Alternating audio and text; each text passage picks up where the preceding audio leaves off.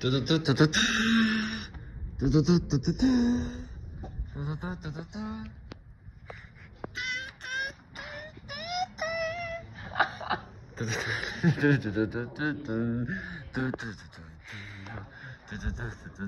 not play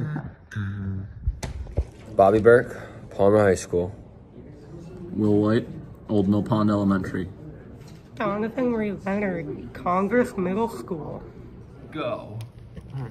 Hi, my name is Jack Lattin, and I'm an athlete here at Palmer High School.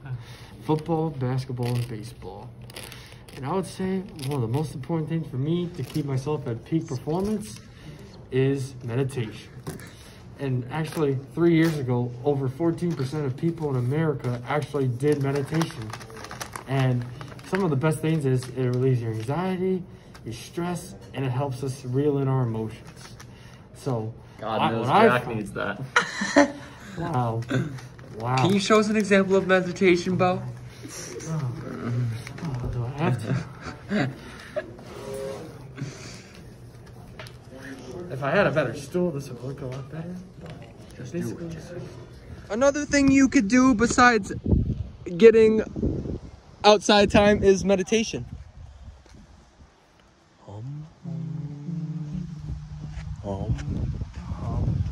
What does meditation do, Bo? It puts your mind at a clear, calm, emotional state. It helps strengthen your mental health, and it's just as good as physical exercise. Do this twice a day, 20 minutes recommended. Your brain is a palace. Very well said, Bo. Very well said. Thank you. Another topic we researched in this project was consuming fruits and vegetables. If you maintain a healthy diet of fruits and vegetables throughout your life, it can help prevent different types of cancers, type 1 and 2 diabetes, and many variations of heart disease. When you consume the fruits and vegetables, they contain many vitamins such as A, C, E, and elements such as magnesium, zinc, folic acid, and phosphorus, which are very great for your health. Since most fruits and vegetables are low in sugars and fats, they are high in dietary fibers. They can help reduce obesity and main, help you maintain a healthy weight. And cholesterol and blood pressure levels are also going to be maintained. Tell me when you're going. We're going.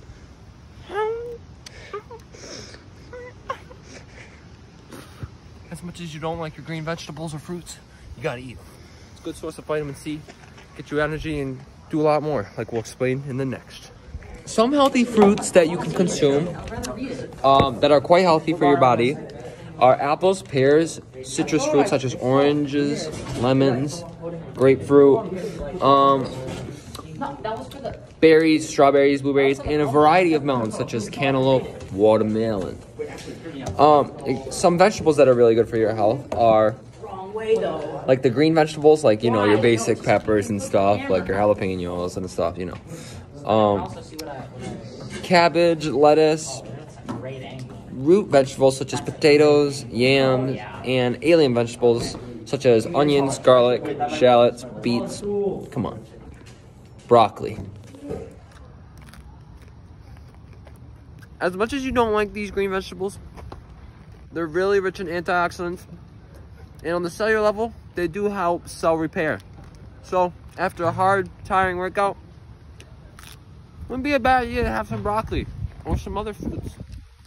We're gonna see how fast Bobby can eat this apple. As many as you know, this is a McIntosh apple. It's like half green, half red, right?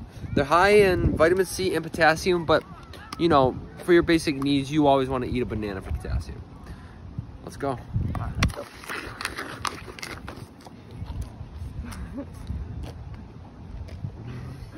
It's not done.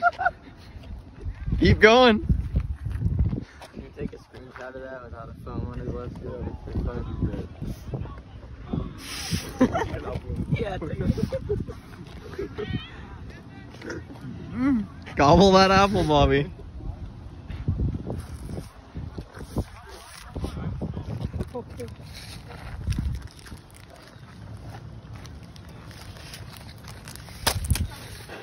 Eat an apple.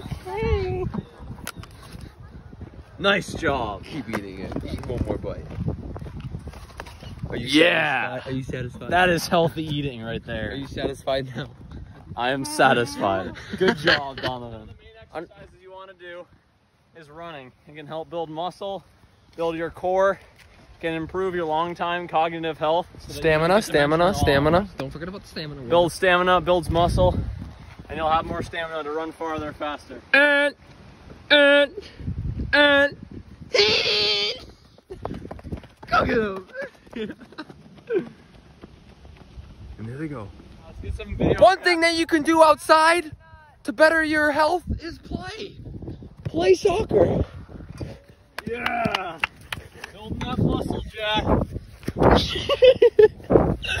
All you gotta do.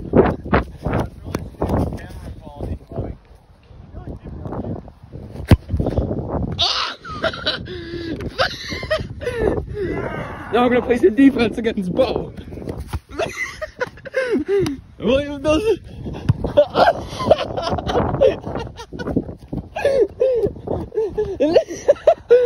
Why is he so good?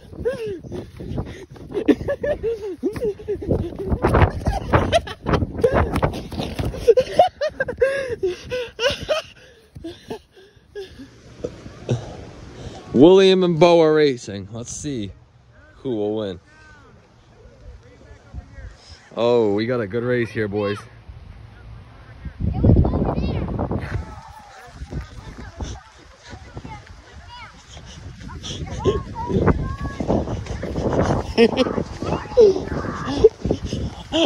Look at his. Oh!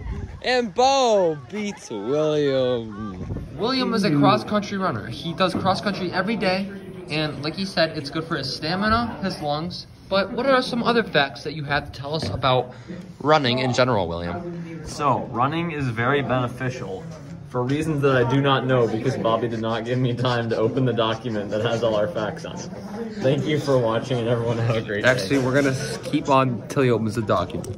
Okay. So, health vlog research ideas. It's loading as we speak.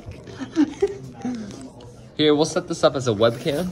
Running can help maintain a healthy weight, improves your immunity by boosting your white blood cells and antibodies, and can give you better sleep by realigning your body clock and boosting serotonin. It also helps your blood flow to brain, which reduces cognitive decline in old age and the risk for dementia. It also builds cardiovascular health and improves muscles. Is that all you gotta say, Will? That is all I have to say. Thank you. William?